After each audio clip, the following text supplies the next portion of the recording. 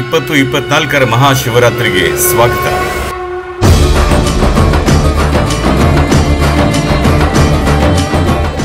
ಈ ಪವಿತ್ರ ರಾತ್ರಿಯಂದು ನೀವು ಎಚ್ಚರದಿಂದಿದ್ದು ಅರಿವನ್ನು ಕಾಪಾಡಿಕೊಂಡರೆ ಅದು ನಿಮ್ಮ ಜೀವನದಲ್ಲಿ ಅಪಾರ ಒಳಿತನ್ನು ತರುತ್ತದೆ.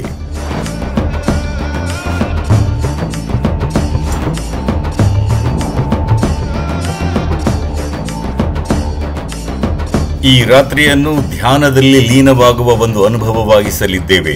ಇದು ಸಂಗೀತ, ನೃತ್ಯ, ಧ್ಯಾನ ಮತ್ತು ಉತ್ಸವಗಳಿಂದ ಕೂಡಿದ ರಾತ್ರಿಯಾಗಲಿದೆ. ಇದು ನನ್ನ ಹಾರೈಕೆ ಮತ್ತು ಆಶೀರ್ವಾದ. ಇದು ಕೇವಲ ಜಾಗರಣೆಯ ರಾತ್ರಿಯಾಗದೆ ಜಾಗೃತಿಯ ರಾತ್ರಿಯಾಗಬೇಕು.